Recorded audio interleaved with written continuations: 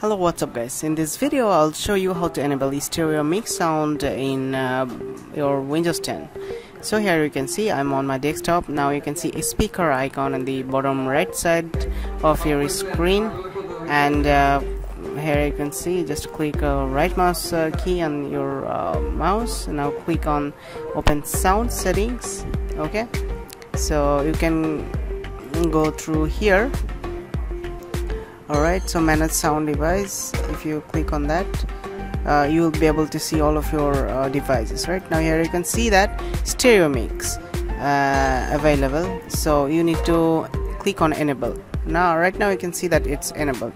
So if I go to uh, open my volume mixer and if I go to my system sounds now click on recording option right? Now here, here you can see stereo mix uh, option.